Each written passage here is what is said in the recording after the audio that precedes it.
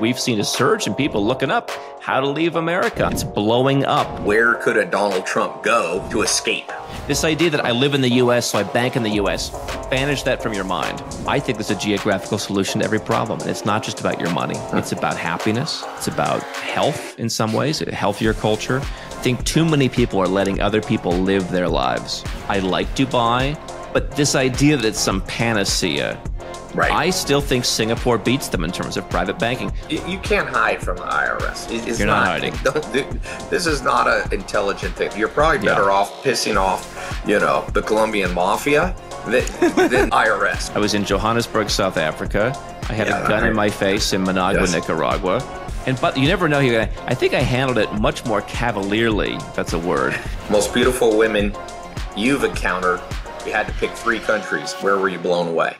Welcome to today's show. It's Tai Lopez, and I have a very special guest, Andrew Henderson, CEO and founder of Nomad Capitalist. If you are at all interested in anything global, you've probably already heard or read. I've been on your email list for many years. It's actually, and I'm not just saying this because you're on the show, it's actually one of the few newsletters I try to read because it actually has good value and it's just not super generic. Uh, we're going to be talking about, you know, global planning, understanding the big picture of the world, not just taxes, but lifestyle and, you know, legalities and potential changes in capitalism and the world. And will the United States stay a dominant power for the next generation? And where should you be thinking, living, going? So, Andrew, I appreciate you being on. How are you? I'm doing great, man. It's good to talk to you. Like I said, I've been following your stuff and, and we've worked together. I've actually been in one of your uh, consulting packages. And so I wanted to just start off by a crazy question and we'll bring it back more sane. But I saw an article where it said, let's say Donald Trump, okay? Donald Trump thinks he's unfairly, well, he's been indicted and unfairly accused.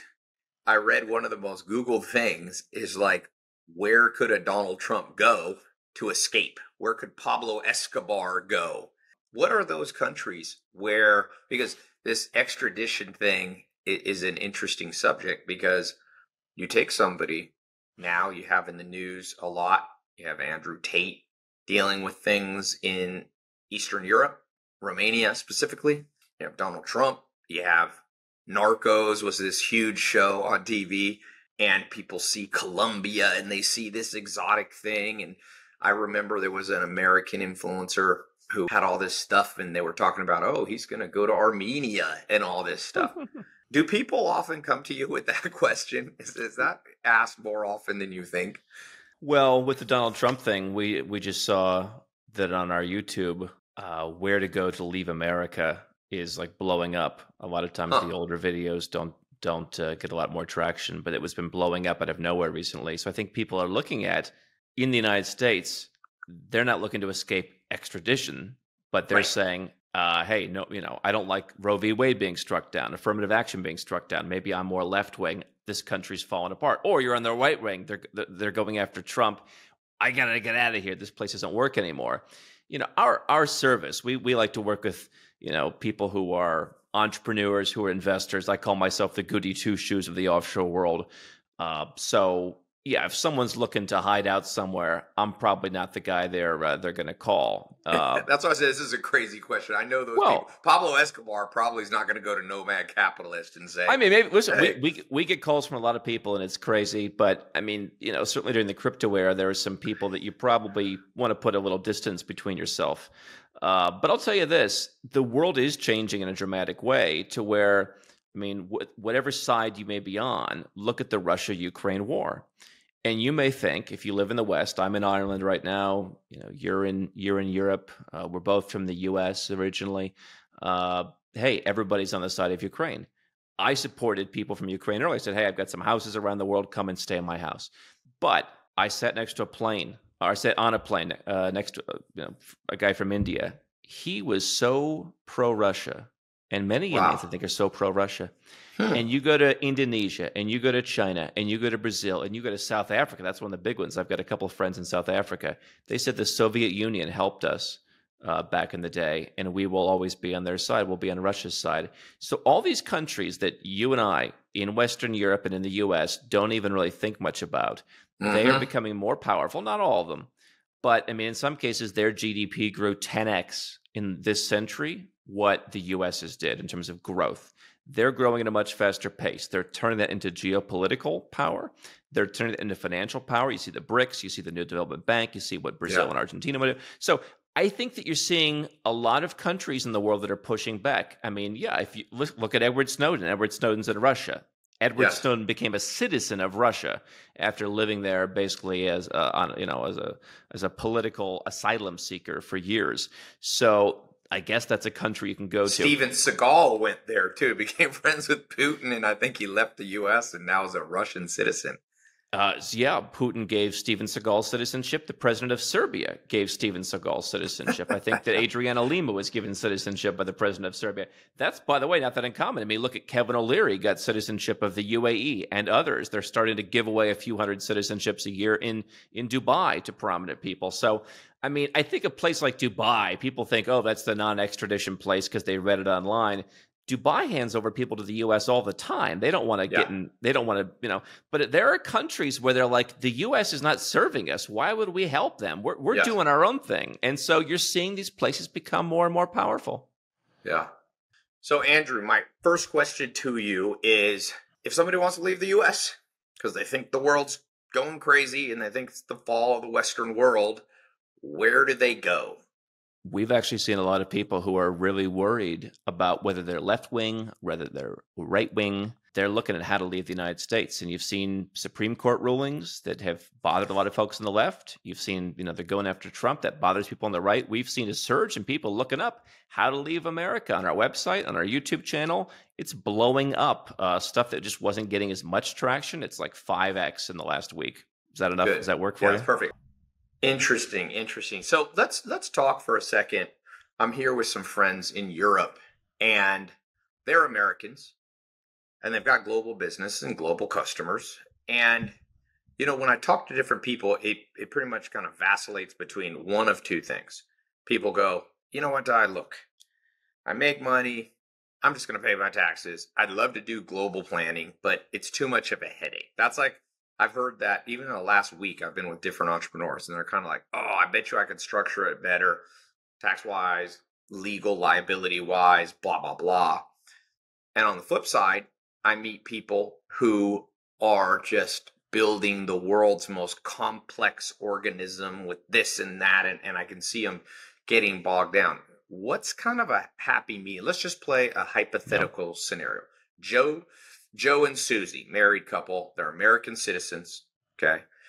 They have an online business. They're selling, I don't know, online education. I have a lot of online education people follow me, and they have a global audience, people from 190 countries paying them money. And currently, let's say in this hypothetical, they live in, I don't know, Atlanta, Georgia.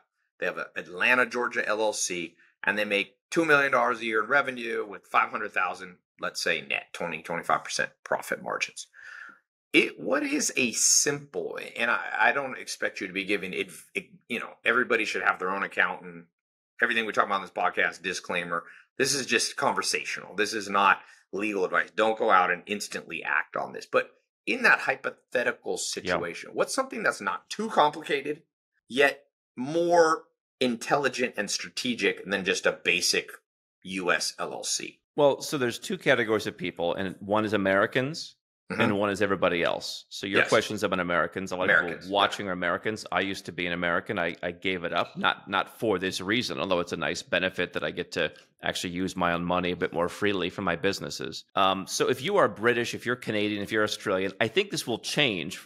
Uh, and Australia has already started to kind of sneak some stuff in there. But for now, if you're anything but American, you can simply leave your country and you can just mm-hmm. play by wherever else's rules that you choose to go. And we've helped people move to 31 different tax friendly countries. I mean, Italy's a tax friendly country if you're a foreigner. Ireland is. Um, a lot of countries in Asia, Latin America, Europe can be tax friendly if you're an American, you're always going to have to pay something to the US. Now, assuming that no one wants to give up their citizenship or anything extreme like that, you know, if your company is majority owned by Americans, you're going to have to pay something. mm-hmm. but it may be in the single digits at that at that five hundred thousand dollar number, because uh, what you get as an American is not only a bit more flexibility of where you go, um, in terms of when you leave the U.S. Uh, but you also get a foreign earned income exclusion. So let's call it about $10,000 a month. Changes a little bit every year. If you're a husband and wife and you both legit work in the business, that's 240 basically out of the 500. And if you hmm. structure it to where you're working for a foreign corporation, you basically should pay nothing, no income, no social security, no Medicare on that if you're a married couple, both Americans, 240.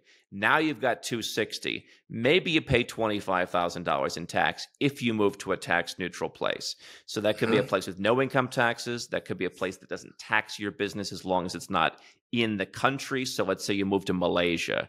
Um, you know, Malaysia, generally speaking, won't tax businesses that are set up somewhere else. Maybe your business is in the UAE, but you're living in Malaysia. The thing to understand, and by the way, they may not need to get rid of that Georgia LLC, but they probably need to add one part to it, maybe a foreign company. So they don't have to they don't even have to necessarily move the entire business as an American. That's the cool thing if you're doing an LLC. But uh, you know, it's not just enough to move your assets anymore. You have to move your you have to move your tuchus. You got to move your butt somewhere else. The idea that you're going to be sitting in the United States or Canada or Australia and just setting up your company in some tax-free jurisdiction while you're in the US, they have things called controlled foreign corporation rules. They have yeah. permanent establishment. So even if you have employees, you know, depending on what they do, you might want to structure them. That's when it gets more complicated. Like you want to make this move before you have a bunch of employees. I ran businesses in the US. I sold everything. And when I was running Nomad at the beginning, I started it overseas.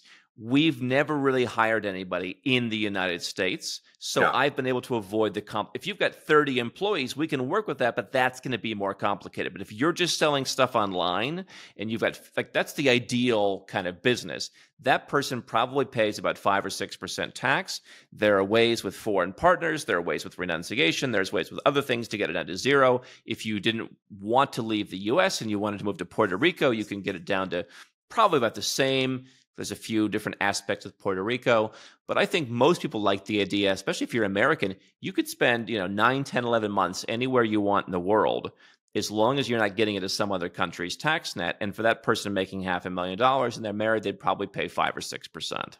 Yeah. Now, if somebody's making, let's take the same couple and their business blows up yep. and they're grossing 25 million. I always say the magic number is 29 and a half million a mentor once told me, Tai, 18 million is a great number. It's stable, shows the market's large enough, big enough to hire a C suite. So if you'd, he told me that when I was a teenager, so inflation adjusted, so 29 and a half million. Let's say this Atlanta couple, they got a 29 and a half million dollar business, 10, 15% margins. They're walking with two to five million net.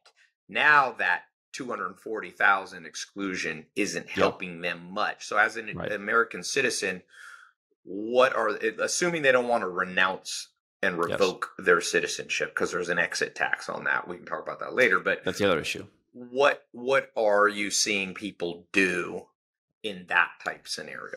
The same strategy. Um, so you know there are the tax code got more complicated, but there's yes. ways to to to structure around that to where uh, basically you know let's say you're going to pay 10 or 11 percent of whatever's left over and so in this case, you have a much bigger whatever's left over.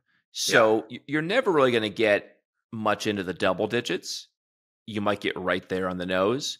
Um, so if you're making, you know, said, you know, two and a half million dollars, yeah, I mean, 90% of your income is now subject to that. So maybe you're paying, you know, nine or 10% tax. These are rough numbers. Obviously, depends on your situation.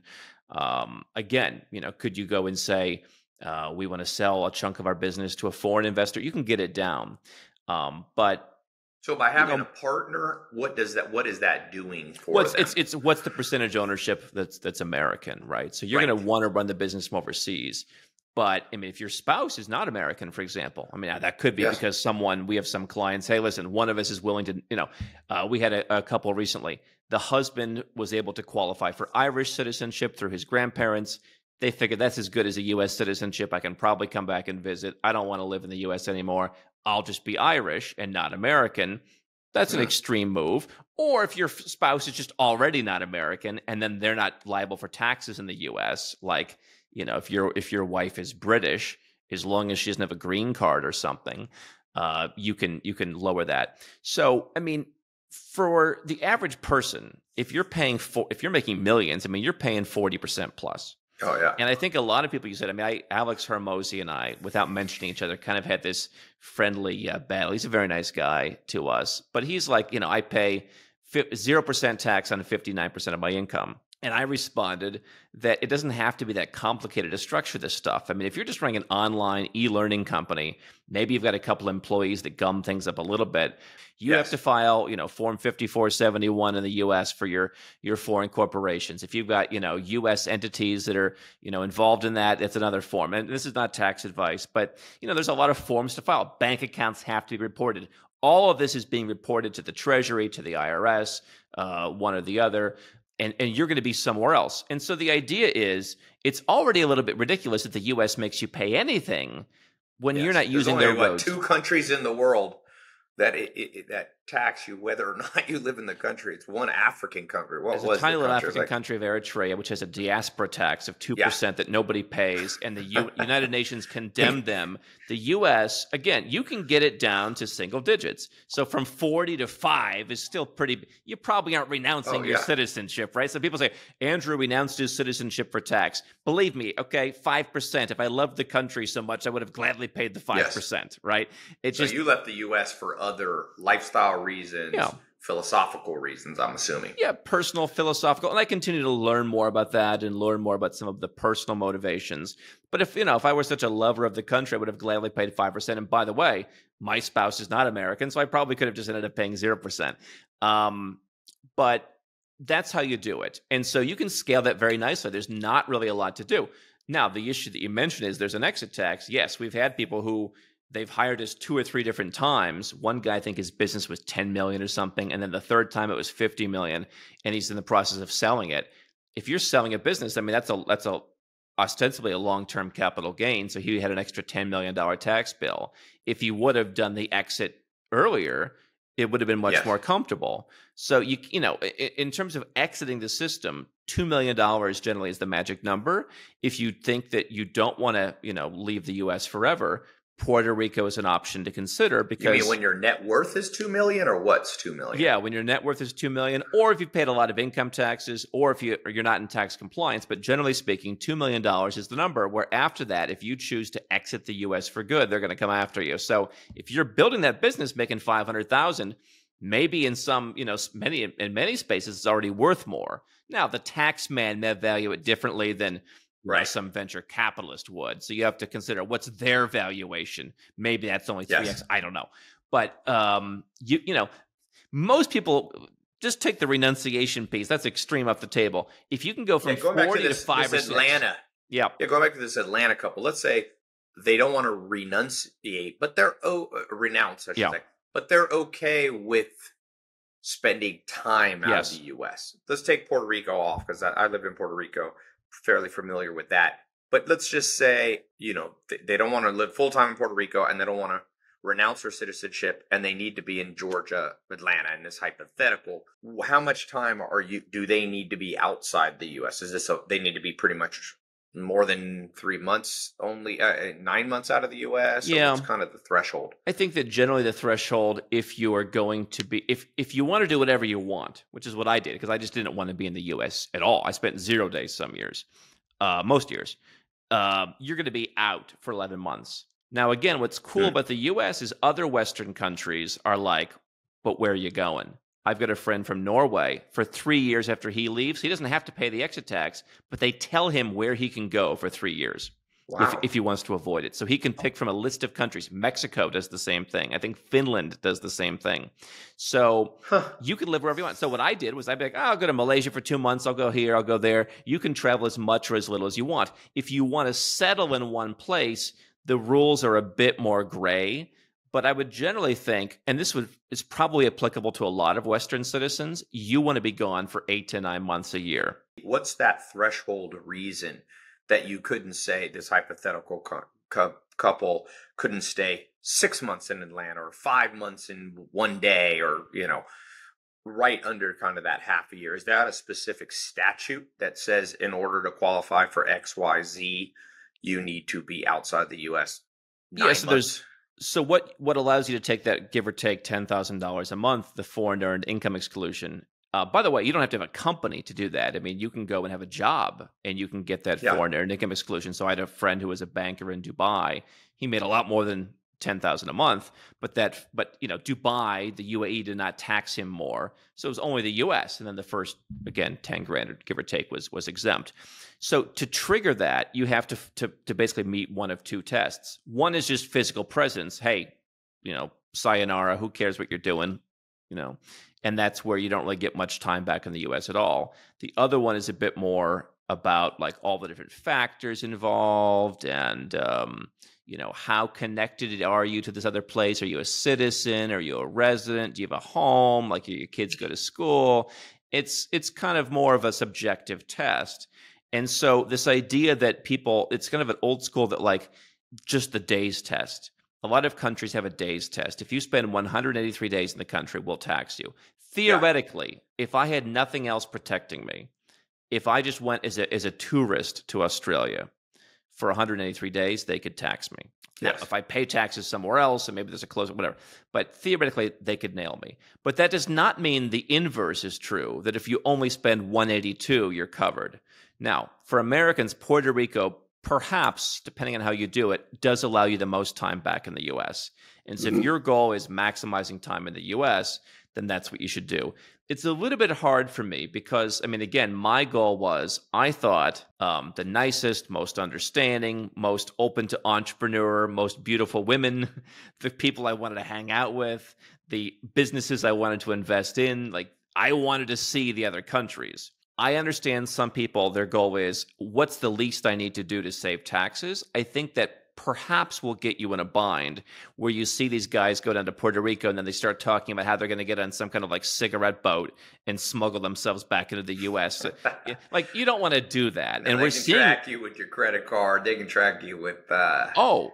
I no, I mean Monaco are the experts in this. Yeah, Monaco, they they they got the police like tracking. Are you there every day? You're supposed to be there. Right. I mean, they're sending people. So and by the way, the IRS is now really cracking down on people who are just pretending to be in Puerto Rico. I mean, so I think Puerto Rico is the most flexible. If you want to be overseas for any Western country, I think you've got to be gone eight, nine months a year. So let's say this couple, and then we'll move on to a different line of thinking, but I think people will find this interesting. Going back to Atlanta, hypothetical married couple, let's say they go, We don't want to renounce. We also don't want to spend nine, ten months outside the US are there other uh, advantages that they can pick up on while still living in the US yet maybe having a company outside is there any reduction in risk taxes etc if they say we need to spend 6 to 8 months in the US or is that pretty much there's nothing well, there. I, I, mean, obviously, you know, Tim Cook is the CEO of Apple, and he's sitting in Cupertino, Mm-hmm. Uh, and Apple obviously has. I mean, here in Ireland, I mean, one of the you know, Apple's one of the original people using Ireland to to to shift profits to a lower tax rate. So, you know, do we occasionally see people who have very complex businesses and very big businesses where you can do some of that? It's not necessarily our our, our focus, but you know, certainly you could you could apply you know, somewhere between the Georgia family and and Apple. There's an opportunity um, where you can have you know serious stuff in the U.S. That's you know that's certainly not uninvolved. Uh, what I would suggest is perhaps if I'm starting a business, I could incorporate that business in part overseas. Now I have to file a foreign return, uh, or sorry, a, a, a, U.S. return for that foreign company. So I'm going to have a little bit of extra paperwork, and I'm not going to save the tax because the the company will be taxed as if it's a U.S. company. But I am going to potentially have lighter weight requirements. Let's say my company's in the UAE, I can get anybody a visa to work for me. So mm. it's not the cheapest place to hire people, and I don't think you're getting top level A plus talent in Dubai um, from experience. But I mean, no, it's people think it's some panacea, but you know, you could bring people from anywhere in the world, and that's a selling point for certain people. So if you want to say, "Hey, listen, the best SEO guys for my business are in Pakistan," they'd like to move to the UAE. I'm willing to pay them between Pakistan and US wages. I save some money. They get a work permit. Maybe that helps me retain them. I can bring anyone to work for me there. So there's benefits for the business in terms of cost savings, in terms of streamline. We had a guy worked with us a couple different times. He wanted to move the business to Singapore. He said, "I'm just I'm tired of hiring Americans. I'm tired of the filing requirements. They come at me 7 years ago. Why did you fire this guy? I don't want it anymore." He's not he doesn't care about saving taxes. So if you're willing to move, unless your business is just big and you've got a lot of people in different places, maybe there's something to be done. But if you're just like, hey, there's four of us, it's really not going to be possible. I mean, the people running the business have to, and really, even the people doing substantial work in the business, which if you've got four or six or eight employees, most people are going to be called pretty substantial.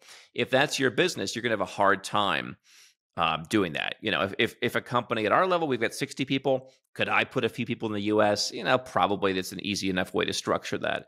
Um, but, you know, you've got to be kind of at the level that we're at 60 people or more, I would say, before you can really, it's really justified to say, we're to, we're to not be out. But but there's plenty of things you could be doing otherwise. You know, you could be getting your dual citizenship. You could be banking overseas. I mean, look at uh, all these different countries that are freezing people's accounts. Or, I mean, the, the woman who sold burritos 10 years ago, oh, she's depositing too much cash. Let's take all of her money. And then she can't even defend herself. I mean, having business bank accounts somewhere else. All that stuff is good just for asset protection and diversification. But I think tax requires movement. Yeah in the context that we're talking about if we're not Apple. For somebody listening who just loves the world, forget taxes, they want to live a global life. They want to diversify. They want to have assets globally. It has nothing to do per se, you know, necessarily about taxes. They don't know how many days they want to spend in the US. So they don't want to be tied to that, but they want to diversify globally. So they want to diversify maybe where they own real estate. They maybe want to have a backup plan uh, they want to enjoy life. They want their kids to experience other cultures. Let's go through kind of three parts of the world because everybody has different tastes. I can't just say, "Hey, Andrew, what's the best place in the world?" because there's so much subjectivity to that. And you know, like if you ask me, I've been to a lot of countries in the world. I've lived all over, and I have my preference. I like Scandinavia you know, I spend a lot of time in Scandinavia. I like Brazil, some parts of South America. You know, I've been to the Middle East. I've been to Asia um, for various reasons, partly time zones and things like that. I, I tend to be a little more Western. Yes. Um, but for you, just with your, and you don't even have to explain your predilections and personal preferences, but what are the three parts of the world? If you were starting from scratch now, let's say yeah. you lived in Atlanta, Georgia, and you just said, I'm gonna live a global life. I'll still have my Georgia, you know, US LLC and operations here, but I want to spread out. I want to have a second home maybe, or I want to invest some real estate that I'm going to Airbnb out, or I want to, you know, spend five months here and my kids go partly to school there. What what are those three countries or even specifically cities? Because I think sometimes countries is the wrong way to think about it. What what are the cities three cities that you would put in your rotation. I call it a, I, I call it a travel rotation. What would be your what travel cre- rotation?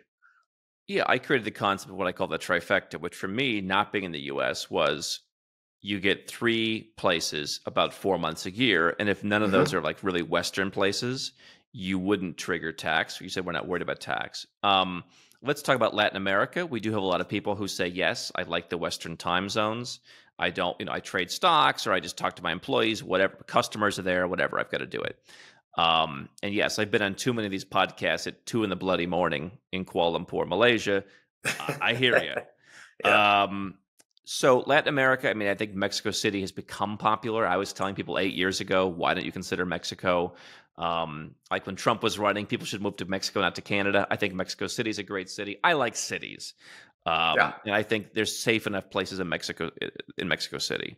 Um, I don't see a ton of value in Central America. I find Panama City to be okay. It's mm-hmm. livable. Mm-hmm.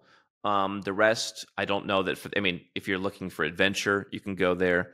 Um, if you're looking for total freedom, maybe. I have a home in Bogota, Colombia. I happen to like that. I think that um, there's a lot of you know interesting benefits there. If you're there four months a year, it's not going to be a problem.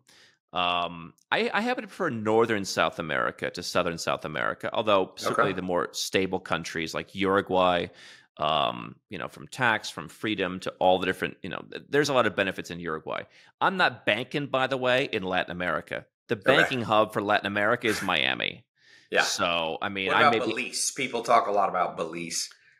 More of a retirement place, I think. I mean, I think but I that, mean for banking specifically. Eh, small banking, maybe. I, yeah. I, think that's for someone who it's like, I want to have a you know a company offshore. I have very little funds to put in it. You know, I'm not going to be resident anywhere. I go and get an account in Belize or Dominica or something. I think it doesn't blow me away for banking. No. Um, could it be an option in there? Sure. I, am just. It shouldn't be like that. Doesn't replace Switzerland or Singapore. Yeah. Um, so that's where I would go. Yeah. I mean, you've got Roatan, the island off of Honduras.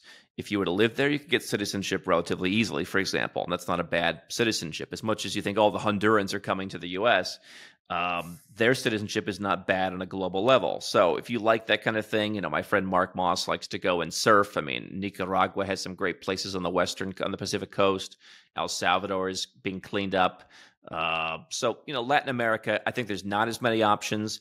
Um, if you buy property in some of those countries, you can get residence. Do you like um, Do you um, like Bogota? You feel safe there?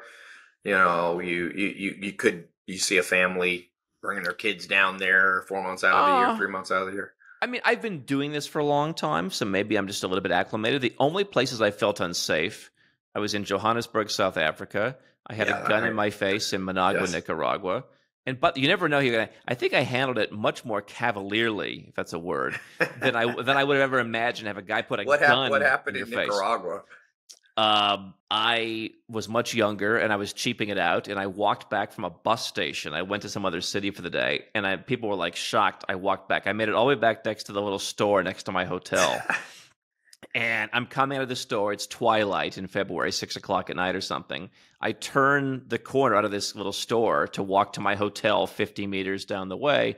And a motorcycle comes. There's a guy driving. There's a guy gets off the back. He just comes up, put his puts a gun in my face.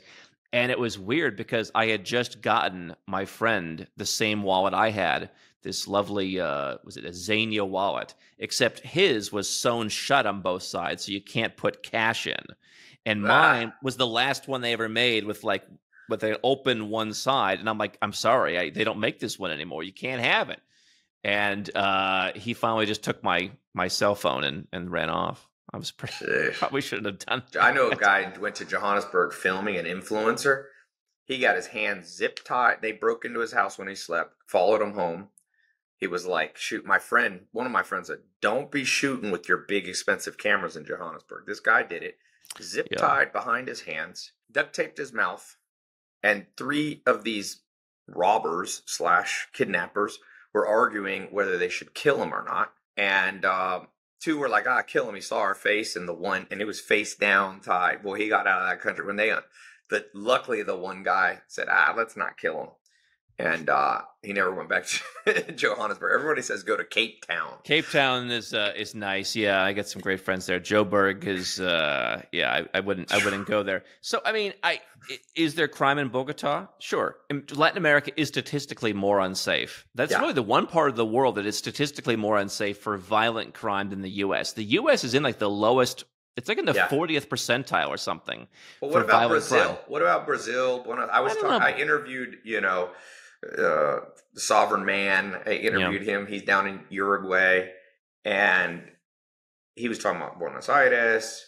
Doug Casey. What do you What do you think about Brazil? Yeah, Doug Over. Casey, who yeah. we have, we're, we have a, a live event, and Doug Casey's in Uruguay. He's in Argentina. I, I agree with Doug Casey that like the problems of Argentina don't follow you if you're just the foreigner that's like right. when you're an expat in these cultures, you're floating above it in a sense. Yes.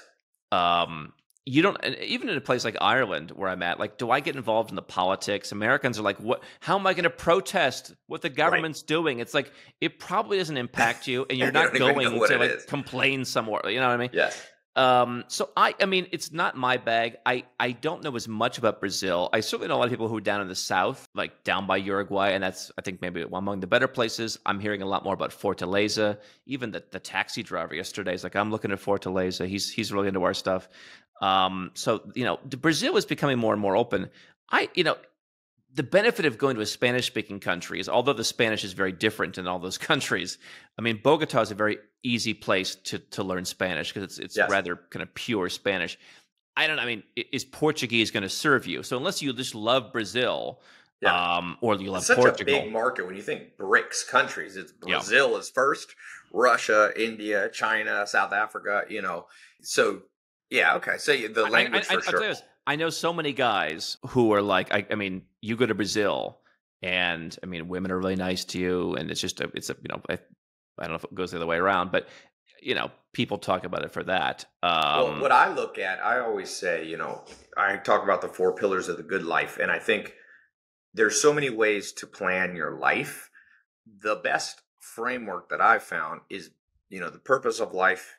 I call it the seven B's right? They're like subsets of the four pillar, but bloodline, friends, family, romance. If you ask a scientist, the human, the Homo sapien organism, what is the dominating instinct? It's reproduction, and that's both genetically, but also through your friends and alliances. So I look at countries, and there's a new meta study came out in the last few years of globally global mental illness, global instability at the individual level. So dark triad traits like narcissism, psychopathy, Machiavellianism. And I really think, and I'm interested to get your take on this, I look at the world through that lens because you can find anything in any region. So the region that has the lowest statistical mental illness, and we'll put this on the show notes. Anybody listening, tailopez.com slash Andrew podcast. I'll put the link to this study. Brazil is statistically the lowest dark triad mentally unstable exploitative trait location in the world. So I was um, talking to some friends of mine about the social scene, and they're like, "Yeah, I mean, like from a sense of you know cheating, for example, and stuff like that." You know, I was talking to a, a woman from Venezuela,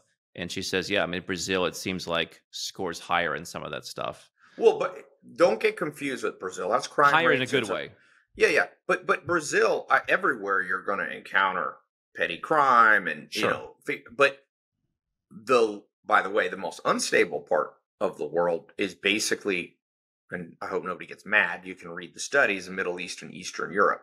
They have very, very off the charts, some parts of Africa too.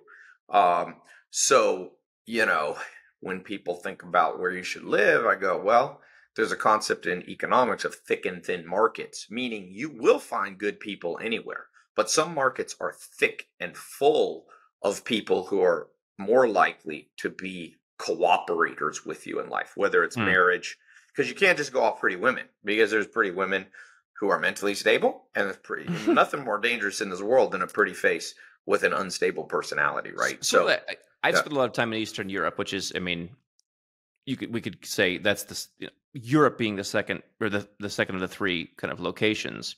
I I think that I mean certainly yes there there are people I mean we've got a big team in Georgia, for example. I've been an advocate for Georgia. I think people there are more cooperative. There are certainly countries in Eastern Europe where people are relatively uncooperative, even though um, there's a lot of positives. I mean, beautiful people.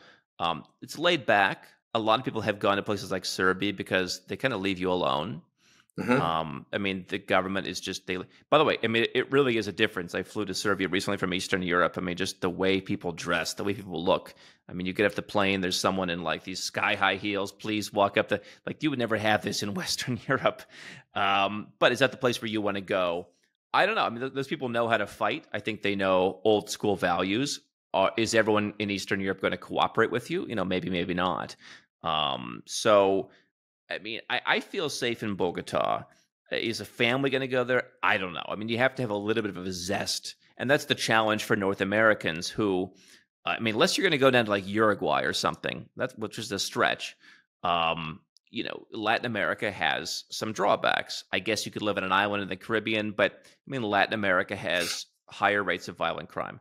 Everywhere else in the world, I mean, Eastern Europe and the Middle East too, they have some of the lowest rates. I mean, I mean, I was just talking to a guy who grew up in Saudi Arabia. There's no crime there. Now, maybe you're going too far the other direction on the culture scale, but there's no crime in the UAE to speak of. There's no crime in Bahrain. Those are relatively, you know, open, you know, for for that region. Um, I think there are other uh, negative externality, like Copenhagen, where I live part time. You know, is just as high level of safety, yeah, but with still the freedom. You know, sometimes you have. it's like let's be real. You know, some countries where women can't drive. It's like, well, do you yeah. want to live there? Do you want to live yeah. in the place? Like we under, I understand that modern look to me i'm a i'm a fan of the middle way and so ultra feminism can be catastrophic for society but also ultra patriarchy is no no and, and it's no and, it's, and, yeah it's no beautiful sail down the wonderful life with no negative repercussions so I, I, I certainly wouldn't say i'm the most politically correct person but i've been in countries where i say to myself my goodness like the patriarchy it really exists and it's right here um and by the way i mean i you know, I go go to Albania, for example, and try and date someone. I haven't really done this, but you know, you hear all the stories. I mean, like, and I was talking to an Albanian woman last year just at a store, and she's like, "You're going to get married in a week." Or the brother is going to come and they're going to get in the back of your car with a bat, and it's going to be like, yeah. "Listen, you're you're done." Um, you don't want that, Andrew. You don't want to get a week old marriage by bat. I, mean, I just watched that movie Shaft on Netflix, which is like Samuel L. Jackson, and he's trying to get Charlize, uh, not Charlize Theron, but I forget the main actress to testify in a court case, a murder, and her brothers come out the backyard with these two big baseball bats. They're these big, huge white guys, and so maybe they were Albanian. Who knows? I, I mean, I you know, I don't want to contribute because you know you watch all the you, every spy show is like, oh, the Serbians or the Albanians are the villains. Like Russians, people I think know a little bit too well at this point, so now they're going to be more exotic. I think there's some great people there. Um, there's always great people everywhere. I, I just, you, it, know? It, you know, it's it's just it's just kind of old school sometimes. I, I don't know. I don't I don't want to presume. I've, I've known some Albanians. We have Albanians who who work here. I mean, you know, it's not There's like a lot uh, in London. I'm in London now. Oh, for sure. Albania. Well, it's like and some of those beautiful women you'll meet are Albanian. Like Absolutely. you said, you may have to marry them in four days after your fourth date. so yeah, they're not gonna. Yeah, if you're not, on a fast track for marriage, there you go.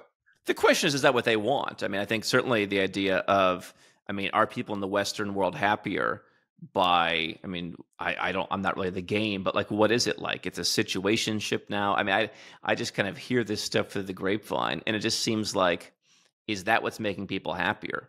Uh, there's a great book, uh, many probably a dozen years ago at this point, called The Geography of Bliss. The happiest people, I think, are the ones who don't really give too much thought to some of this stuff. Um, and so there's places in Southeast Asia, for example. But anyway, I mean, Eastern Europe is a bit more of a stretch. I, I'm spending more time in Ireland and Dublin, Ireland. Uh, the reason being, you've gone I've, back to your Anglo roots a little, a little bit. bit. A, little what, bit. Are you English? Are you English by? I guess my my father's side English was name. yeah Scottish and Welsh, I think. Yeah, so yeah. you're UK, United Kingdom-ish. Yeah, my mother Lithuanian and Norwegian. Um, so Norway, I love. I used to live in Oslo, Norway. Too far away. So unfortunately, and I'd you like think? to claim one of those. Well, no, I'd love to claim one of those citizenships, but Norway doesn't really do that unless your parents are Norwegian. And Lithuanian, yeah. my great my great grandparents left two years too early. It wasn't Lithuania yet, okay. and they said, "Sorry, you can't be Lithuanian." Um, I yeah, I, I like Dublin, and so uh, you know, we have some people in our audience who say, "Listen, I want total freedom. I don't want to be told what to do. I don't want to be told what to say." I think Ireland is still there's a humility to it that a lot of continental Europe doesn't have. But I mean, you're still in the European Union, and so if you just want like total leave me alone, you're going right. to Serbia or something like that. I'm willing to sacrifice. I went to Serbia last year. It's a cool place. It's, it's like cool. It's you know I was there. It's it's inexpensive. I was in Brazil. My Uber was eighty nine cents. I kept getting my bank block blocking my cards, and I'm sure their algorithm is like a whole bunch of eighty nine cent right. Uber charges is some spammer. I called the bank 43 times. I'm in Brazil. For the love of God, can you compute your algorithm? Can you alter the algorithm to not be so blind? You know. Eastern so, Europe is not as cheap now with all the Russians and Ukrainians moving in. Yeah. Ask ask any of our team members in Georgia, the country of Georgia. Um, I mean, things have gone through the roof. I mean, we were talking about buying property there six, seven years ago. We had people who have tripled their money on property. Um, I have some land that apparently just got appraised at 40 times what I paid for it, which wow. obviously land being more illiquid. Let's see if I can get that. But yeah, I, I think I'm turning like turn like seven grand into like 220 grand or something. That's nice. The best being 40x potentially. Anyway, that's in Georgia. Yeah, my mom went to Georgia. She used to follow this group. My mom's a hippie. I was born in Southern California. She follows the, this guy. He's dead now. His name is Guru Fozzy, Fossey or something. So she went to Georgia, I don't know, 10 years ago. She's like, oh, I love it. It's a hell of a flight over there. It took her forever to get it's easier, there. It's easier now, but yeah. Yeah, she yeah. was like, oh, she came back and, you know, uh, now, so, okay, so we got the first place. You obviously, Colombia, you have a place. That's a great way to know people's preferences. And you're in Ireland. So, what yep. would be a, a, third locale that you just your preferences? Like I said, you don't have to justify it per se. So again, my having gone all over Asia, the place that I identified with the most, number one because of the nice people, and number two because it's a little more comfortable, was was Kuala Lumpur, Malaysia. Okay. Most of our Australians they go up to Penang because they want to be in the water, and Penang's nice also. But I think Kuala Lumpur is a world class city. I've had my parents come. Everyone who comes says this is better than many American cities, quite frankly, in terms of the services, hmm. in terms of just is everything. Is it glo- global expats or is it mostly Malaysians there? Well, so Malaysia, and this is why we, by the way, we're having a big live event, and I wanted to show people Kuala Lumpur. Yes, we've done I'm all of our live events in Mexico. We're going to get there, but yeah, I, I, we've been doing all of our events in Mexico over the years, mm-hmm. and I thought it's time to show people somewhere I've been living for ten years. I have properties in Kuala Lumpur. Is it global? I think a lot of the expats left. I mean, if you're someone who, uh, I mean, you know, Asia is is more of a group culture. Yes. So not everyone got vaccinated, but mm-hmm. there certainly was a bit more enforcement. It's all over now, but Asia is a place where when people get sick, they wear a mask, that kind yes. of thing. So if that's not your thing, then Asia is not your thing. But right now, Malaysia is wide open. Um, and so there were more expats there. I just think that you know, I, I think they're still very friendly to expats. Maybe some people didn't. I don't know why. Um, but it's it's mostly that Malaysia is a multicultural country. It's about sixty percent Malay, which are the ruling powers. They mm-hmm. are the Muslims uh, that are in charge. They are some of the nicest people you'll ever meet. There's the Malaysian Chinese, which is about twenty five percent. And so you've got Chinese people that are Malaysian citizens. They they don't want to be Chinese. They're Malaysian Chinese. That's a, a cut above, they say. Um, uh, well, that's what they say. Right. Yeah. But you know, they're in Indonesia, they're in the Philippines, and they're generally in all these Southeast Asian countries the wealthiest people because they bring that work ethic. They are, you know, the lawyers and all that. Then you have about 15% Indians. And then you've got expats, not as many Western expats anymore, but you've got Egyptians and Yemenis and people uh, from all over the world. Uh, they are, you know, a country that welcomes Muslims. I will say this if you're not Muslim, they don't care what you do. And so, in contrast, perhaps to the Gulf, you will see people kissing, you will see girls wearing the skimpiest outfits. Uh, as long as they're not Muslim. Uh, you will see people drinking. I guess even plenty of Muslims do that. They're not supposed yeah. to, but it's a very liberal uh, and open Muslim country. And so, cost of, I, how's the cost of living there? I think with what's happening in Eastern Europe, I still think it's among the best. I mean, Colombia with the currency always kind of going down is good, but the ringgit in Malaysia has gone down. I mean, I'll tell you what I think. What are what are we paying? I guess there's some taxes on top of this, but we're paying like $86 a night for five star hotel rooms for our event. You could go and stay. This is the most charming colonial hotel. I go there and have a drink every once in a while. You can have two cocktails for happy hour. They're wearing white dinner jackets. It's a beautiful ambiance. You can play billiards. There's people smoking fine cigars. Like rich people go there. It's nine bucks for two cocktails during happy hour, seven days a week at this $86 a night colonial hotel with orchids and everyone's in a dinner jacket and it's like it's it's it's really charming. I took my uh, the big boss out. We had a great like kind of a hawker stall lunch inside hawker stall. Everything's clean. Nine bucks. We ate like kings. So you can go, and then you can also go to Nobu. You can also go to the you know Italian restaurant. Right you're going to pay more for caviar. You're going to pay more for champagne. You're going to pay more for strawberries. But there's plenty of stuff you're going to pay less for. I mean, real estate is insane. It's cheaper eat, than Eastern Europe now. Yeah, and you shouldn't eat eat don't eat Western fruits. So it's like I'm in Brazil. I'm like I don't Yeah. need you know northern. I don't need apples. It's like Brazil. It's like give me something. I mean, although apples do grow in Brazil, but eat the food of in the all fairness- you're in. if you had household staff, uh, Yeah. you know, they would go to the the market that's further Yeah. away. You know, when you're just looking for convenience, you'll go to the store where everything's from New Zealand, for example. But if you're, you know, if you're going to the market a few kilometers away, you'll still find apples at a reasonable price. It's just it's you're not going to the, the you know the best and most luxurious supermarket. I think Kuala Lumpur is great. If you can live anywhere, if you're that couple from Georgia, if you're you, if you're Mhm. me, if you're your listener, I mean, if you go to Singapore, the house that I have, I've got like a almost a penthouse. I don't know, thirty three hundred square feet. I redid it. I'm probably all in for six hundred thousand dollars.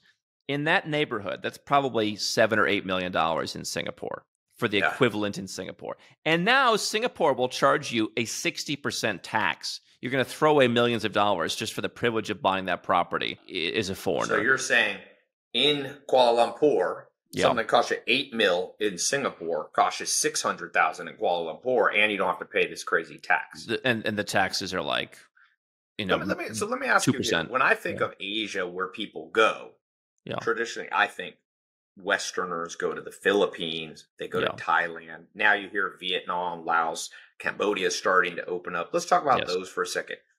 What's your feelings on the Philippines and these more traditional kind of Western expat locales? Well, I mean, the Philippines is nice, and Manila, like Fort Bonifacio, it's really come up. There's some really nice places. The real estate's much more expensive. I don't think the service is quite as good. I mean, they're lovely people. The Philippines. Um, I mean, they're lovely people. They're all over the world. Um, I don't think that the quality is quite as good. You're on an island, so it's harder to get in and out of. It's more expensive to get in and out of. I mean, if you're in Malaysia, you can get anywhere you want. You're an hour from Singapore. Here's my system. And you can do this in any part of the world, but I've laid this out for Asia before. It's the global Okay. citizen sandwich. The meat of your life in a global citizen sandwich is where you want to live. So I'm in Malaysia part time. You could be there part time, full time, whatever. Mm. That's the middle part. It's livable. It's, I would say, 85 to 90% is livable as Singapore. I would say it's actually in some cases more livable because there's they're a little bit more laid back in some things. There's not so many strict rules. So that's your middle part. Very livable, maybe not quite perfect, but almost there. The the bottom piece would be Singapore.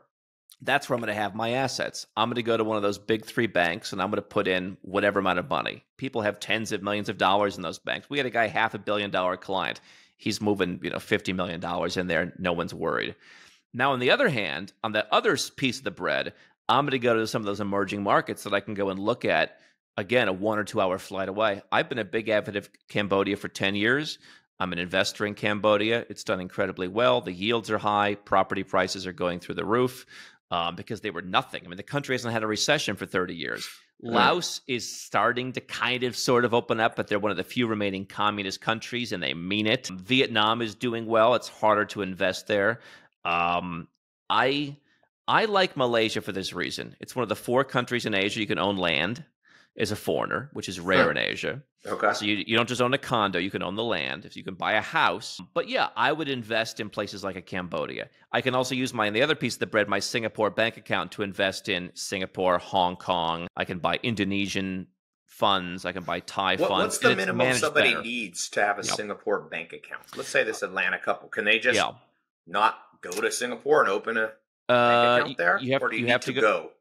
Yeah, for well, not all of them have to go. So like we have a, a lawyer that opens accounts in Georgia remotely, and and their minimum is like zero in Georgia. But if Well, you want to go to Singapore, Singapore? yeah, probably a couple couple hundred grand, and you And you would need have to go there. in person to open these. Now, obviously, if you live in Singapore and you like you start a company and you hire yourself and you're living there and you're paying Right. their their low taxes, you'll get a bank account for a thousand dollars. But if you're just like I want to take advantage of your top you know Yes. status, it's a couple hundred grand generally. So, so that brings up something. Where are some places you like to bank? You, I know Georgia because I uh, we've talked for. I think Singapore's years. right up there. Singapore, Georgia. You said you don't love South America. No. What about other European uh, locations? Any other places? You, would you bank in Estonia? Would you bank? Obviously, Ireland. You're probably going to bank a little bit in, or Well, it's, there's a couple things. Number one, there's where do I want to put the bulk of my money? Um, Mhm. Where I'm going to, you know, store cash that I'm waiting to do a deal or I'm just parking it. That's probably going to be a Singapore. I think Switzerland and Liechtenstein, from my experience, are overrated. They're overpriced. I don't. I think the service is worse. Sometimes I want to do a self-service transaction. That's harder in those countries. There's a lot of imperiousness. If I had to do private banking in Europe, I guess I would go to Andorra. There's just so much okay. runaround. I went to Monaco. They're like, "Oh, you've lived in some weird places. We don't really want to open an account." I mean, for a million euros, they put you through the ringer. Uh, you know, so if you li- if you want to live in Europe, you can get an account in some of those places, like a like you know Coutts in the UK, three million pounds, that kind of thing. But if you're just like the global citizen, I think nothing beats Singapore at the top. It's transactional, it's low fee, it's good service. Americans can't make investments, but everyone else can. They've got good access. Then I would maybe have my smaller accounts, my tunnels, my diversification, my higher interest rates. That could be a Georgia uh, Portugal, I guess, comes in there. And then I'm going to have like, where do I live? Both for, for tax reasons as well as just ease of operation. I wouldn't bank in Ireland other than I'm going to pay some local bills. Right. Right. And so, so a lot of these countries account there, yeah. Yeah. So in Europe, if you're not if you're taxed on remittance or whatever it may be, I would keep the money somewhere where it's where you want it to be. Like most people think that where they live is where their banking is. And so, sure, uh, I think my wife has like an account in Colombia with five grand in it or something, and it's just kind of a pain to manage. But you got your five grand locally if Would you need you do it. Dubai, by the way? Dubai, UAE is another one uh, that I guess. Although I don't, I don't think that the standard of service there, quite frankly, as someone who's a company, I like Dubai, but this idea that it's some panacea. Right. I still think Singapore beats them in terms of private banking. Uh, I have a, the Bahamas uh, beats yeah. them. There's many countries that don't want you, by the way, to your point about Estonia. I mean, if you don't live in the Cayman Islands, you're going to have a hard time getting most Cayman banks to take you. Um, so the Bahamas is kind of in what that about league. Estonia? Do they want you living there? No, and they had that whole thing with Estonian e-residents, where people were getting these little cards from their local embassy and thinking they were going to open bank accounts, and the banks were like, "It's great that the government wants you here, but we don't. Right. We can't." I mean, Latvia was freezing everyone's bank accounts six or seven years ago because all the Russians were there, and the Federal Reserve was pressuring their central bank, and they were pressuring their banks. So, I mean, if you're going to bank in most countries, you want to have a residence permit. So, think about this. I want to buy properties around the world. Generally, having a property means I can open a bank account to pay my local bills. What if I want to put extra money in there? If you came and bought a property in Malaysia, but you didn't have immigration status, you could still probably get a bank account. And I think those banks are pretty darn safe. So, you know, you could move more money in by virtue of owning that property. So, in a sense, it starts to kind of come together where either having a residence permit or having a property enables you to have a bank account and then you can open more of them. I mean, look at Georgia. They still take foreigners, but like Armenia next door, the banks yeah. are a little bit more rigid. There's a few more international banks in Armenia, uh, like French banks, for example. Um, but now they want you to have a residence permit. For some people, it might not be the worst idea to get an Armenian residence permit as a backup.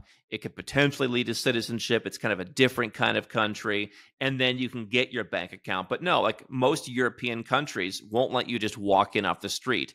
Mostly they're the ones that are the emerging in Eastern Europe. Portugal, if you're going to tell them you're going to do immigration, maybe. Uh, or if you've got millions. I mean, if you've got a million dollars, we can we can we've got one bank in Switzerland we like. Um, but, but you're going to pay. A, they want you to have a million. Yeah, Liechtenstein I, I, is yeah. one that people. What about Luxembourg?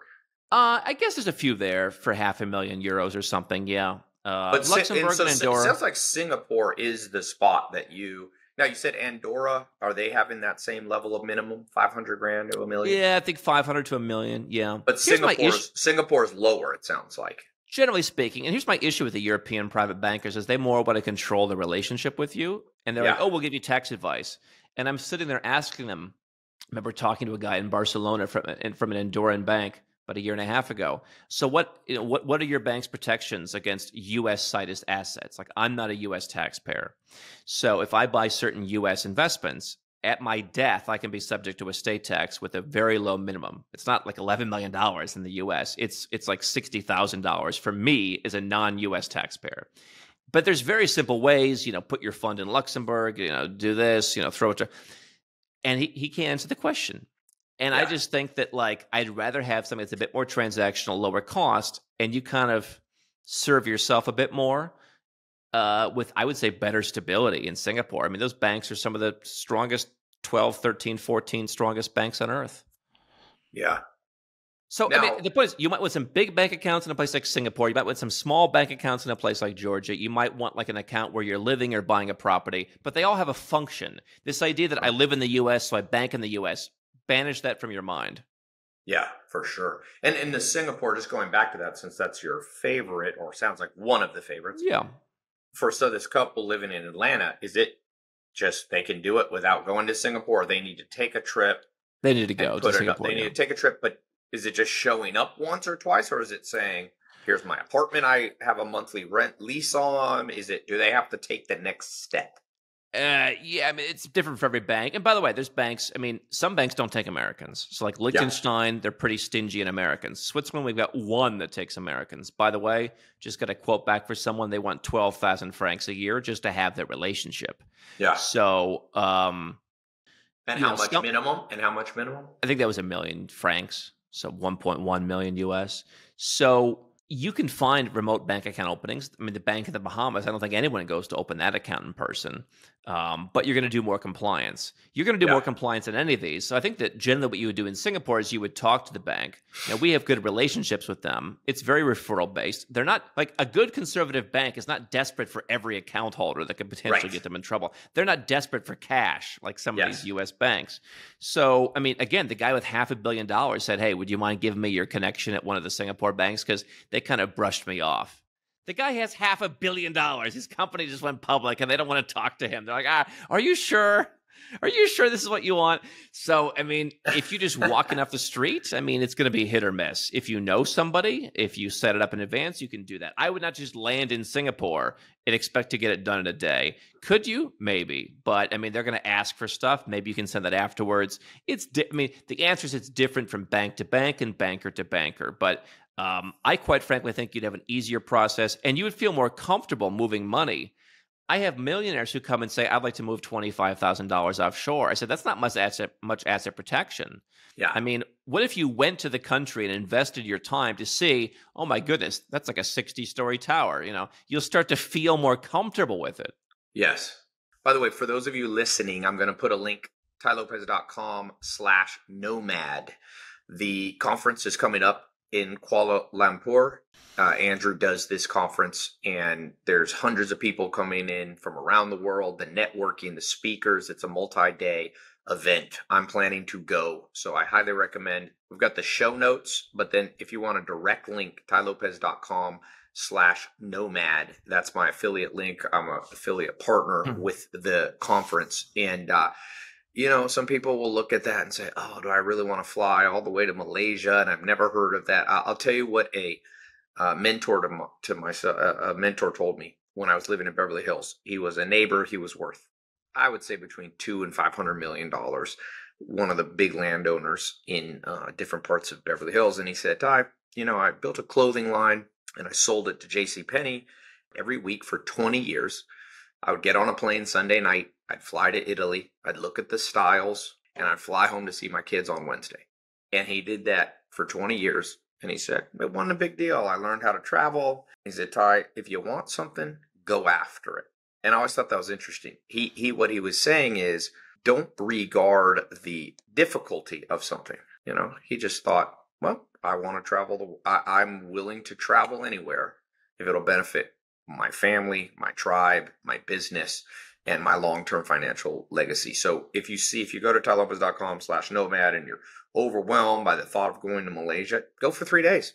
Get on a plane, turn around and come back. I did this experiment myself after, you know, kind of coming to this conclusion that I'll go anywhere in the world where there's good information without regard. You know, it's like the, the Louis C.K., the comedian says, we're the most spoiled generation and we become weak willed. You know, he's like, you're sitting on a chair in the sky, something that used to take people an entire lifetime to go from the US or Europe to Malaysia. Now we can do it in under a day. Sure, it's a little bit uncomfortable. You got to pack your stuff, but you can sit in first class if you have some money. You can have somebody wait on you hand and foot. You can read three books. That's what I do when I go on these long trips. I'll read. I went to Australia. I read the entire autobiography er, biography of Napoleon Bonaparte and so super productive you know? So if you see this it's coming up in september. If you know you need to understand more about what you're hearing now and you need to be informing yourself on the global patterns that are unfolding in front of us because there is, and this is my opinion now, there is a distinct possibility that we're going to witness, whether it be AI, whether it be a global war, calamity, food systems breaking down. Eh, don't think where you live now, which a first world country. A lot of my listeners are in the United States. Don't think that empires don't fall. And the wisest people in the world always have a backup plan. So whether you actually want to leave the US or Europe, that's an irrelevant point. The point is, smart people have backup plans, even if they don't deploy all their assets into them. So I'm a big believer. It's like, who wouldn't have some kind of a global asset? I mean, you'd be insane to not have one. I have a lot of people following me doing Airbnb. I mean, okay, you do it in, you know, Los Angeles. Well, why wouldn't you have one in an outside country, whether it be Colombia or, you know, Europe? There was a, I was just with a student of mine, and, you know, the, there was a guy in the UK did $21 million in Airbnb rentals, netted 10 million bucks, diversified globally. So come if you can, September. Don't think about how long the trip is. That's irrelevant. Read a book, think, bring a yellow notepad like Bill Gates built his entire business plan for Microsoft by locking himself in a hotel as a teenager for three days or five days. So lock yourself on the airplane, you're locked in, bring your plans, map out your next 18 months of your business, read two books, and the next thing you know, you're landing in Kuala Lumpur. It's safe, it's super cheap. You know, you're staying for 100 bucks a night. So tailopez.com slash nomad. Can I, I'll tell, oh, me tell yeah. you what else you can do, by the way. Uh, and, and what I found in my experience of all my travels, once you're on the plane, you're on the plane. Mm-hmm. I almost prefer going to a place like Kuala Lumpur because if I'm going from like Istanbul to Kuala Lumpur, that's 11 hours. Yeah. I can actually like I do I, I have a nice meal. I do what you're saying. I get a lot of stuff done, more productive on a plane than anywhere else, and I get some I get some sleep, and I arrive refreshed. But here's what I did that I think people here's a, a way to dip a toe in without committing any funds. Go to I go to Prince Court Medical Center. I don't get paid. To, I'm not an affiliate of Prince Court Medical Center, but I go every year, and I paid this year three hundred and one dollars. I guess it's a little bit cheaper now with the exchange rate, but I paid three hundred and one dollars. I got the most intense physical. You go at whatever time you choose. I went at nine thirty. I'm out by 12 o'clock. They rush you to the front of every line radiology, ultrasound. I mean, everywhere. You get every test you can do, blood tests out the wazoo, every test. Then you go and see the doctor. Then you go to they give you a beautiful lunch. Then you go and you come back at like 3:30 and the doctor actually answers all of your questions. They're all trained in the UK. They don't work at this hospital if they're not trained in the UK. Um, and they you've never seen anything like it. This is probably $10,000 in the US. Yeah. And so what I'm telling $300. Wow. 300 bucks. And I've never, I mean, by the way, I've been to the emergency room for like a contact stuck in my eye in the US and it's two grand and they give you the bums rush out the front door as fast as they can.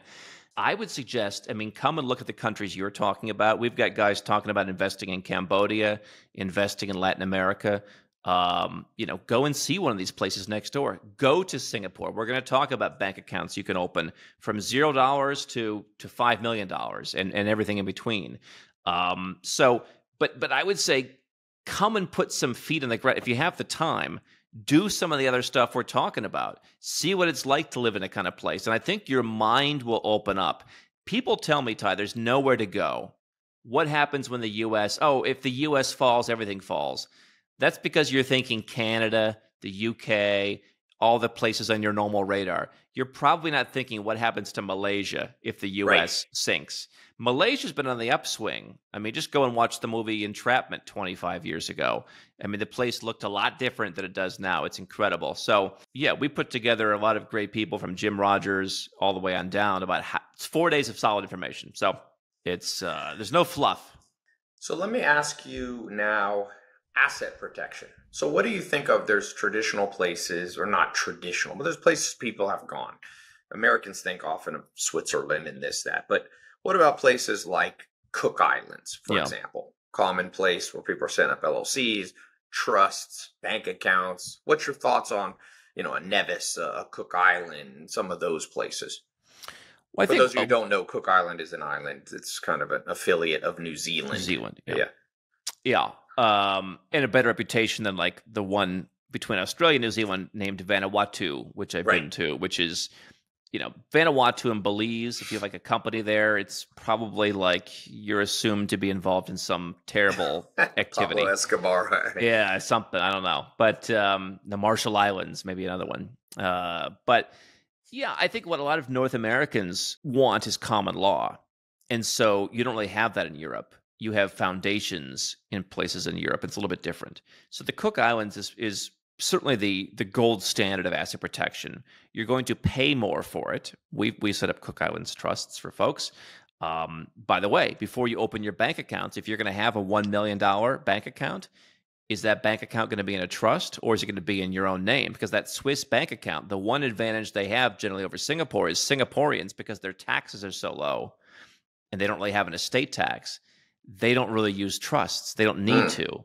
Whereas like Swiss banks are familiar with, okay, we'll open an account for your trust. Yes. So before you even open the bank account, it's important to have kind of the holistic view. This is what we talk about in our business, what we talk about at our event. I think the Cook Islands is the best. Certainly, again, is the goody two shoes of the offshore world. I don't like to. I mean, you know, they, they've told the IRS to pound sand on some occasions. If you're living in the U.S., I wouldn't tell the IRS to pound. I, I, I wouldn't tell. I don't live in the U.S. and I wouldn't tell them to pound sand overseas. I just structure myself to avoid them. But I mean, they have shown like, listen, we follow our own rules. Um, so you know, Belize has trust, Bahamas has trust, Nevis does. I don't like these as much for incorporation. I think onshore is the new offshore for incorporation. Seychelles, Belize, Vanuatu, all that is out, I think, for incorporation. In are the Hong Kongs, the UAEs, the Isle of Mans, the Caymans, maybe the Bahamas.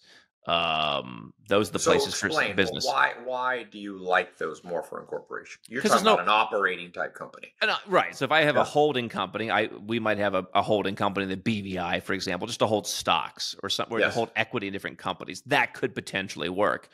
But I mean, try getting a bank account for a Belize company somewhere. I Yeah. guess it again, if you want to put in five million dollars with some Swiss bank, they'll charge you a lot of fees because they're going to say our compliance has got to do Yes. a crazy job on this one. Um, so obviously, the more money you have, the more flexible it is. But if I'm the average person that you're talking about in Georgia, um, the, the state now, uh, you know, I'm not going to set up my company where nobody wants to bank me. I mean, it we used to be you could open a, co- a bank account for a British Virgin Islands company, which is not the lowest of the low. There's still some respect there. They used to be able to open those in Singapore, thirty thousand dollars. They don't really want that anymore. So Mm. th- these good banks are becoming more and more risk averse. But for a trust, they understand. Okay, it's a trust. It's passive. It just holds stuff. The Cook Islands can work. Bahamas can work.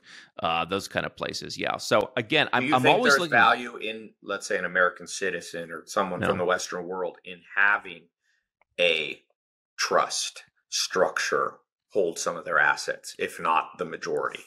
Uh, well, it's somewhat a personal decision. I mean, some people who are entrepreneurs, they're just control freaks. I mean, you ha- let's be clear. You have a, a trustee who's responsible for you know handling those assets, and they're supposed to follow your instructions. I think they're overprescribed, but I think if you have you know two million dollars or more, I would start looking at doing that. Is it worth going to the Cook Islands? I mean, maybe if you're if you're going to keep making money, sure. I, I I believe in paying for quality. Um, I don't think that everybody who has a hundred grand to put in should be sold a trust. Right. Um, but I if mean, I think- somebody, let's say somebody predicts, I've got a business, yeah. it's gonna, it could generate between two and a hundred million dollars of free cash flow over the next 10, 20 years. Do you see that as a viable option? Sure. Running it through a trust. again, be, let's be clear that if you are a U.S. citizen or if you live in the U.S., I mean, you're going to have to file forms for that trust. So there's going to be a little bit of a burden. It's not like, oh, I just get to hide the asset. The asset no, no, is not, not, necessarily for hiding. Asset protection. from the you, you can't hide from the IRS. It- It's You're not not hiding. This is not an intelligent thing. The IRS is a powerful organization. You're They're smarter than people bet- think. Well, and, and they're just they have pull, man. You're probably Yeah. better off pissing off, you know, the Colombian mafia than, than the the U.S. Uh, IRS, which is I- I- ultimately backed by the U.S. military. So at the end of the day, U.S. can exert power anywhere through the largest. You know, we have ten times more air aircraft carriers than any country in the world. Like I you, was, you, you, you, you look at these countries where the immigrants come from, like, you know, Patrick Bet David, was isn't he from Iran?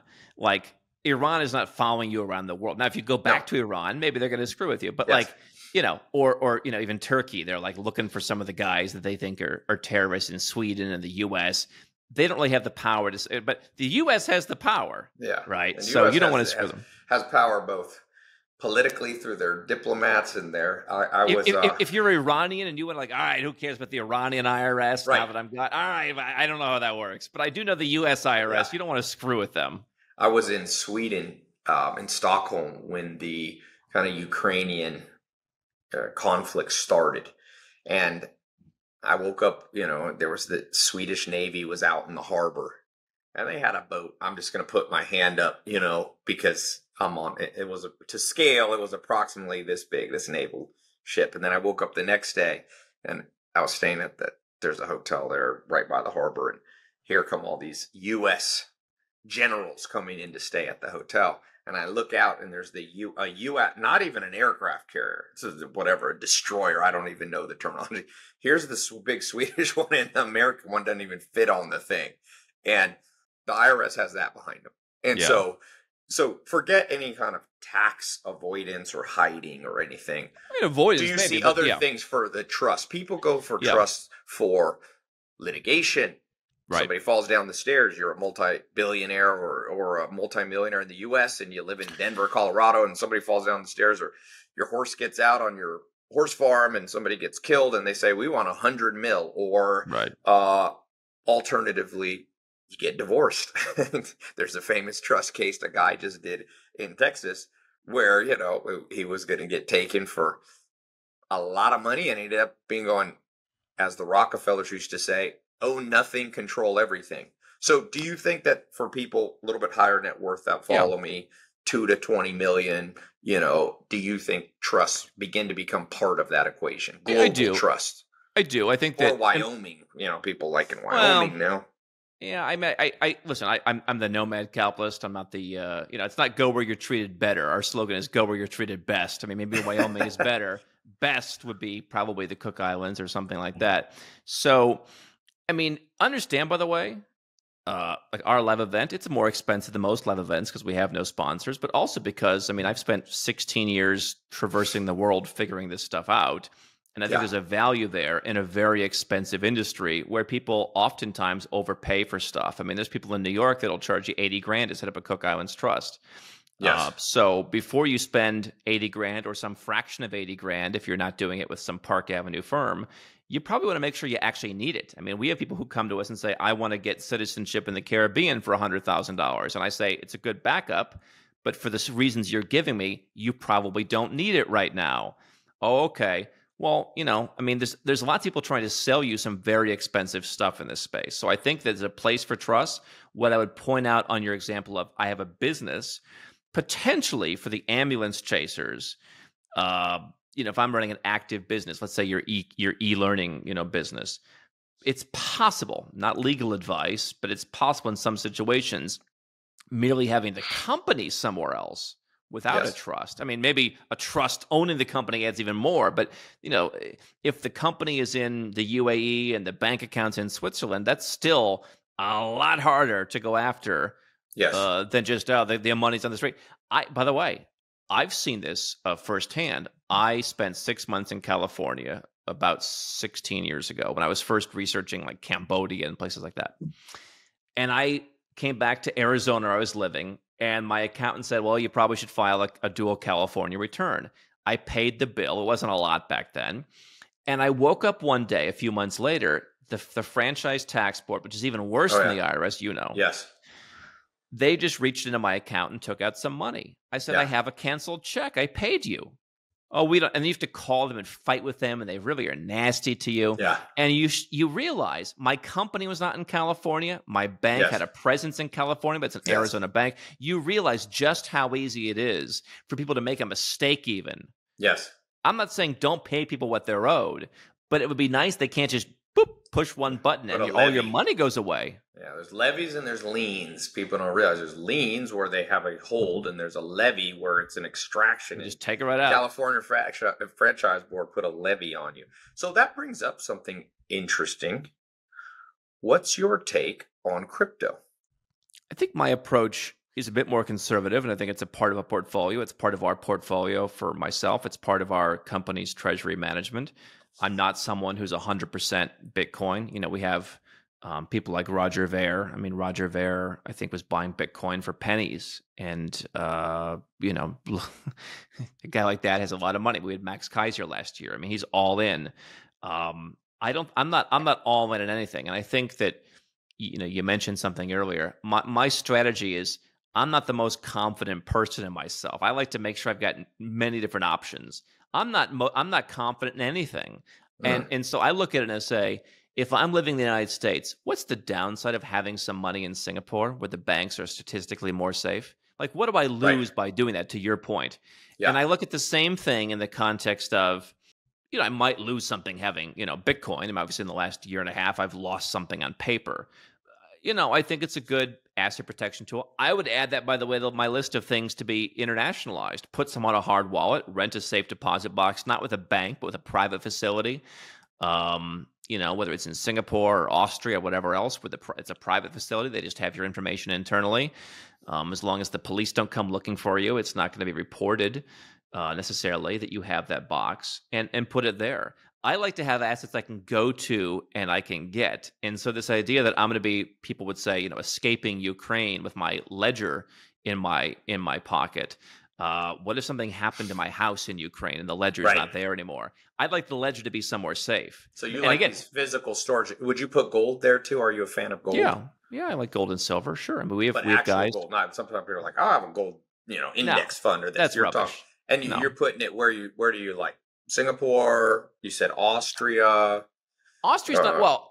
Austria used to have anonymous boxes where you could just not even provide an ID, and some oh, people wow. like that. They they got rid of that a couple years ago. But yeah, there's facilities where you're still. I mean, you're known, but they're not reporting it to anybody. So again, yes. unless like someone's coming, like unless you're the FTX guy, no one's coming in like, hey, where's Would you Henderson's do Uruguay? Crypto? Would you do?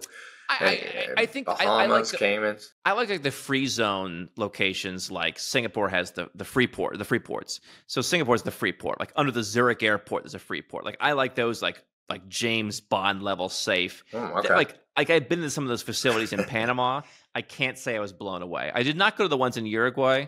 So where you know, are some of those? Singapore, one. Where's three places? Uh, Zurich, Frankfurt, I guess Amsterdam, maybe. I think the big ones for me are Switzerland, where you're generally going to pay more. We've got a company where we get the same rates in Switzerland as we do in Singapore, but generally against Switzerland, it's triple. Yeah. Uh, if you just go on your own. By the way, for all of you listening, I wanted to throw out one thing. TaiLopez.com for the show notes. I'm going to put a link to Nomad Capitalist private consulting, which mm-hmm. he's done for me over the years.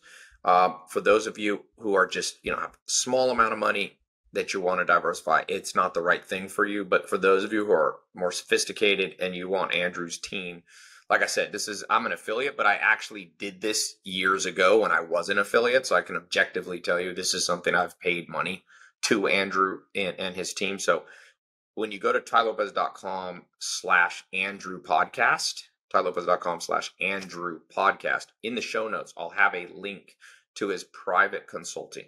On the show notes, we'll have his website. You can join the free email list, get value. We'll have a link to the Kuala Lumpur upcoming September event and we will have a link to the private consulting. You know, it's kind of like three levels. If you just want to dip your toe in this, you go to tailopez.com slash Andrew podcast. You get on the email list. We'll have the link. If you're a little more like I, I see the value of going global, then look at coming to one of the in-person conferences. We'll have that link. But if you're somebody who goes, man, I'm not gonna be able to figure this out. I have a more complex, uh, you know, estate. And again, he's not a lawyer, so he's going to coordinate and his team's going to help you coordinate with. Here's some law firms globally. Here's some bankers. Here's some accounting firms. So think of him as kind of a quarterback and a coordinator, hands on. And, and I went through that and uh, got some really good value from that. That's the more expensive that. package. Yeah. So so going back to that on, and I don't want to put a link to some of these um, locations like you said, these free ports where maybe people can store some things. I think that'll be a valuable link. Um, what What do you think? As we kind of wrap up here, just I want to do kind of a rapid fire section. I like to just sure. ask quick, maybe a thumbs up, kind of thumbs down with one sentence. What do you think about Scandinavia? Efficient, interesting people. Uh, a little too cold. I, I can't pay so much tax. I just can't. It's not worth Right. it. No place Although is worth you- it. You don't want to be there 12 months out of the year, but you can move around through it. And so, which is my second question Great place to visit. Africa right now. Where? People talk about Rwanda. I think Egypt has a, has a lot of potential. We're going to be talking about that at the event. Uh, Morocco, maybe for some lifestyle stuff. Hmm. Um, you know, West Africa, there's some interesting areas. Uh, Kenya has a lot of tech stuff. So obviously a huge continent. I've got we've had a few African clients who are doing amazing stuff, like in Namibia, even the Congo. I mean, you can make it. If you're 18 years old and you want to go somewhere and just have a wild time, Southeast Asia, even wilder would be some of these places in Africa. I got guys, I mean, running the most basic companies going nuts. Um, but I guess Rwanda, Egypt are two that stand out. Kenya. Okay, next bullet question here. Most beautiful women you've encountered. You had to pick three countries. Where were you blown away? And this is just pure physical beauty. Don't factor in anything else. I'll ask that as a second question about sanity level, but just raw shocked when you got off the airplane. What's the three places? Uh, Russia, Indonesia, perhaps Colombia. Okay. I mean, Russia. I think you could put that into category. You could say the numerous Slavic countries. You could say Serbia also, but you know, So overall, I, I have a new course that I launched called 13 Thesis. It's kind of a community, a tribe where we help people find long-term mating. It's the science of sex and long-term mating. And so let's factor in the sanity level, emotional stability, and beauty, not just physical beauty, but also somebody you would consider having kids with. What are those three places? Are they the same places? Or when you add that factor, does that change the equation? My my wife is really well being growing up in Moscow is really Georgian and ethnicity is really Armenian and I would say Georgia and Armenia are probably places that are old school but maybe not quite as old school as we talked about earlier. You have the- Kardashians. Kardashians.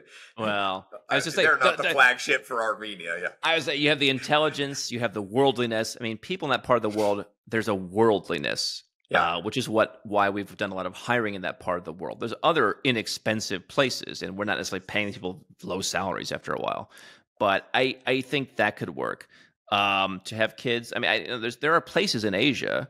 Um, I mean, is Indonesia? I, I think it dep- I mean, obviously depends on the person. There's a lot of people in Indonesia and the Philippines. They're just kind of like, I want a simple life. Just buy me a motorcycle. That's all I ever dreamed about. Probably not what you and I want to have kids with. I think Right. Eastern Europe for someone like us probably does that. It's Georgia, it's Armenia.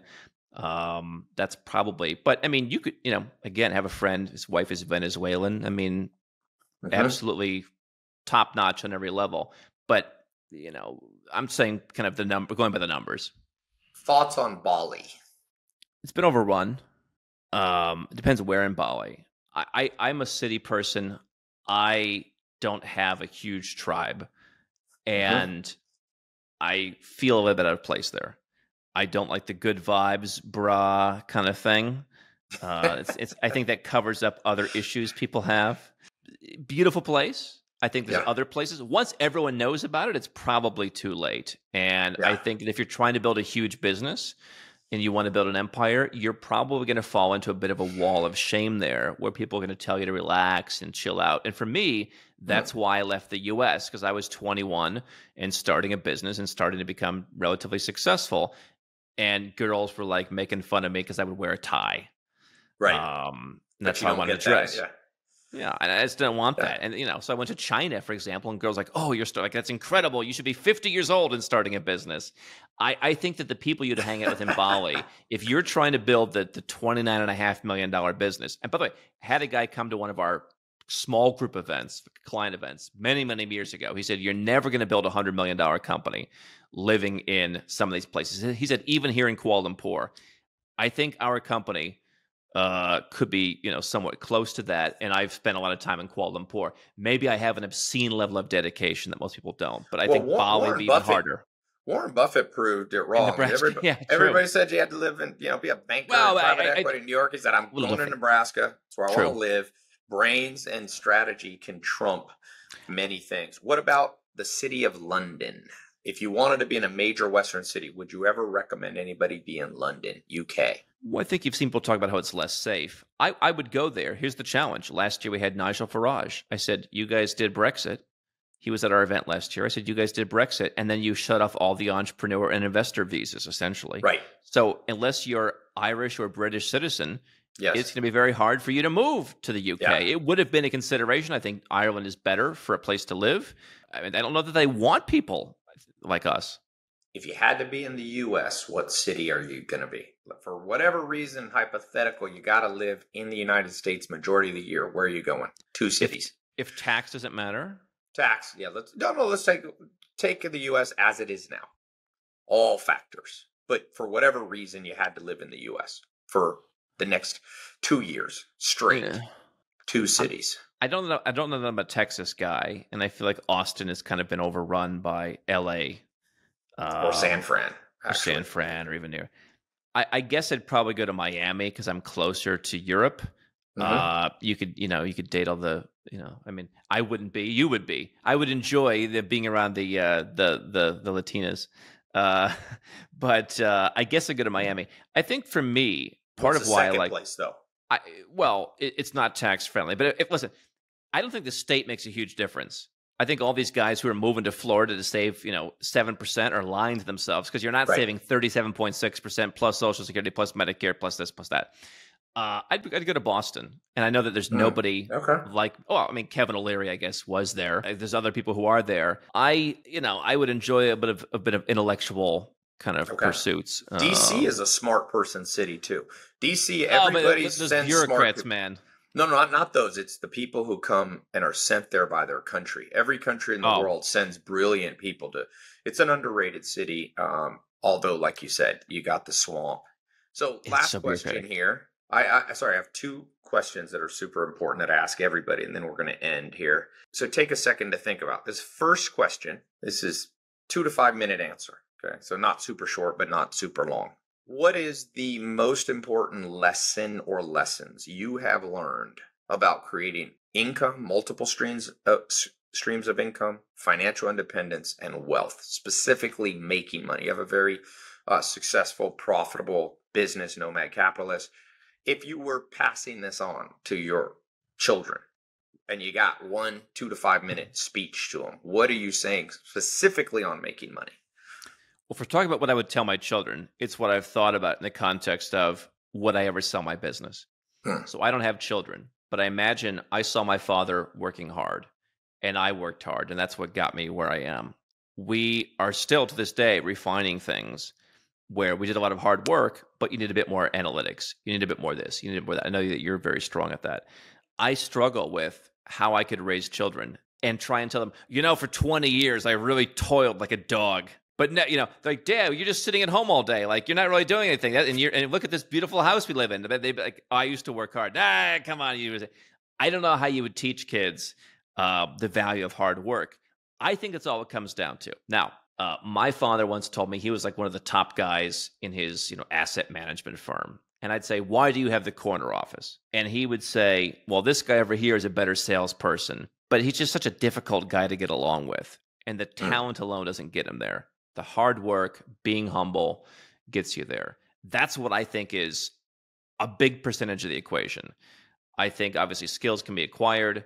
Talent is overrated. I mean, look at our company. We've hired people from the corporate world. I mean, I don't know how these corporations make it uh, with some of these people, honestly. I think it comes down to just a lot of repetitive hard work. I mean, look at our look at when you say where do you send people to Nomad Capitalist? You're everywhere. I mean, you're you're more everywhere than we are. But compared to most people, most people are like, I'll just start a YouTube channel.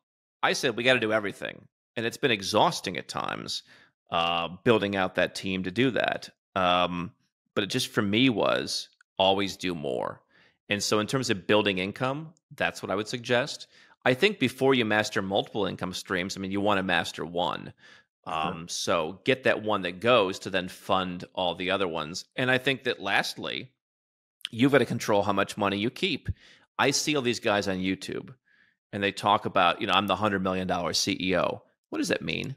Does that mean your company's revenue over the last 10 years is $100 million? I mean, that doesn't really tell you much because you talked about, you know, 15% margins for some of these businesses. That scares me, by the way. Get your margins higher. I mean, get your margins to 50%, not 15%, 60%. I mean, you got to keep more of the money in the business, but then you've got to keep more of the money on taxes. I mean, I look at uh, there was a guy on YouTube, he bought a private jet for a tax loophole. Never make inorganic decisions to save on taxes. Rather control your circumstances to fit where you want to be. Right? If I want to buy a jet, I buy a jet. But I realize, you know what? I don't want to buy a $14 million jet. I just don't. I mean, I guess I could buy it. You could afford to buy it more than I could, but I just I couldn't justify it. And I don't want to be forced to justify it because I'm giving half of my money away. And so I would follow the hard work and humility strategy. I would try and have a business that had high margins. I would not go into manufacturing, you know, I don't know, with some some widget that makes 3 cents on the dollar. And then I would focus on if I can keep 40% in, you know, of my money that's going in taxes, I'm going to be able to reinvest that and I'm going to turbocharge my results and blow past everyone. That's fascinating. That's a great framework of wealth. High margins, hard work, and then reinvest for hyper growth. That's good. Yeah, that's good.